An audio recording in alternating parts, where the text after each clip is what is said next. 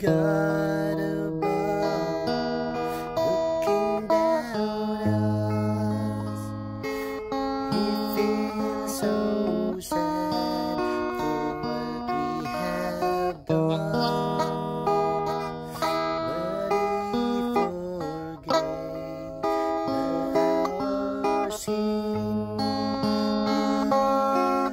forgave